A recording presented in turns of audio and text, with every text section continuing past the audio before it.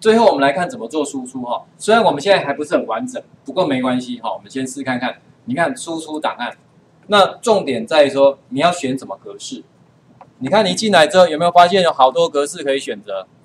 那如果各位用的是那个免费的特别版，要麻烦你用这 Windows m i n 因为其他的它都不能输出高画质的。好，所以我先用跟你们一样的。假设你要用免费特别版，你用这个，你来这里选择。有没有发现这里最高可以到哪里？一九二零乘一零八零，就是如果你用免费的版本，可以至少可以做到 Full HD，好，应该也够了啦。好，就我们一般用的。那有没有注意到后面都有那个什么 P 什么 P 的？没有科 P 而已，好，但是几十个都有嘛，哈，二十四、三十，然后是不是有？我看一下，二四三十还没看到二十五的，应该在下面。好，所以我们原则上你就用一九一二八零这个就好了啦。好，这个就应该就够了哈，一般的应该用这个就可以了哈。所以你选这个一二八零，然后呢再来右手边，输出影片要放在哪里？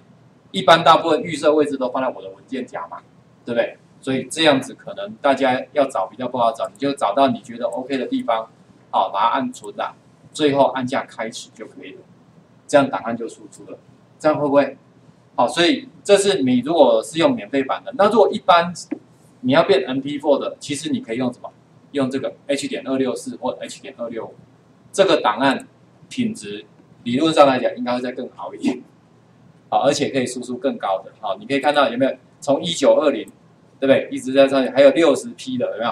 刚刚还有同学问啊，只有三十 P 吗？其实不止，还有更快的，好，还有更快。其实现在 YouTube 也支援啊，也支援，只是说你相对的，因为速度越快，代表播放的张数越多的话。频宽要越大，档案也会越大。哎，如果如果达不到，反正它还是要自动降下来。好，所以原则上我们一般性的你用这样就可以了。好，就用这个或者这两个。好，有有付费的你就用这两个，应该会比较好。它输出都是 MP4。好，记得最后按下开始，这样有没有问题？好，那我顺便讲一下，如果你要上传作业怎么办？虾米，都一个没脚崩啊，还个上传作业。没有关系，因为你到吃饭的时候，电脑还是很认真在输出嘛，所以你到任务这边来，你看研习成果对吧？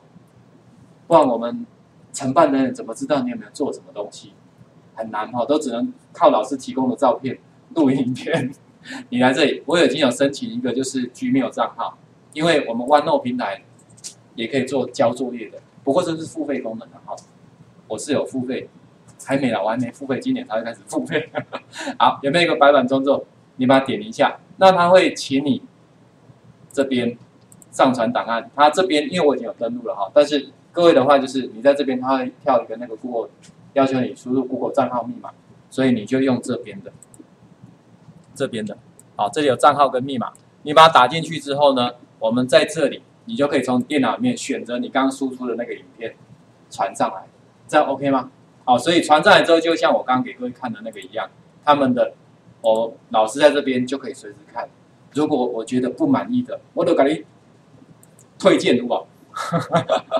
开玩笑了哈，反正我们只是说方便大家上来看一下。那我有把这个就是功能开放，也就是说你们也可以看统计的功能，也你也可以看看别人怎么创作，因为每个人同样的素材，不同人做会不会有不同感觉？就算都一样的安排。音乐不一样，感觉不一样嘛？哎，这是很重要。所以，如果你想要看别人的，你按一下进度就可以看到了。好，你按一下进度，那这边按一下之后呢，你只要点上面这个，看看谁有有没有，那点这个就可以进去看。好，我都有开放好，所以这样应该大家比较公平嘛。好，我知道的你也应该知道。好，那我们就麻烦各位喽。你先试看看我们刚刚的那个输出影片哈。记得各位，你们如果用免费版本的，你要用 Windows Media 这个哦。那我们现在是正式版，所以你用下面这个也 OK，啊，也是 OK 的哈。